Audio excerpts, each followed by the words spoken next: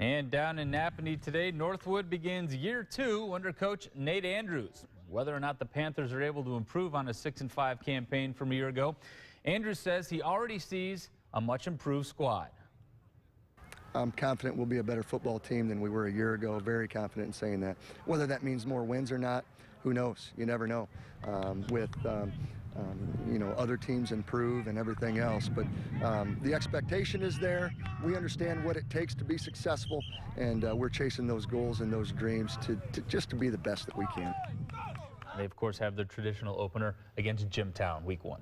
Thanksgiving will be here soon that weekend when we talk about state championships, Let's, right? let's start with week one, though, right? Exactly. Work our way up. It goes by fast, especially for the seniors. Get ready. The season flies by. Pete, thanks. Matt's up next.